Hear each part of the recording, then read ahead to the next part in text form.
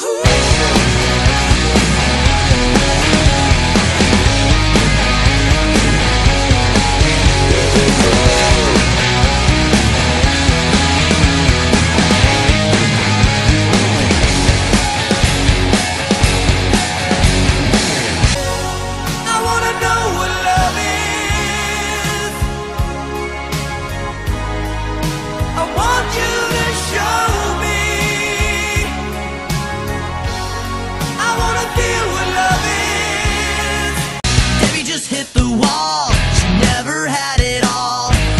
Prozac a day. Husband's a CPA. Her dreams went out the door when she turned 24. Only been with one man. What happened to her plan?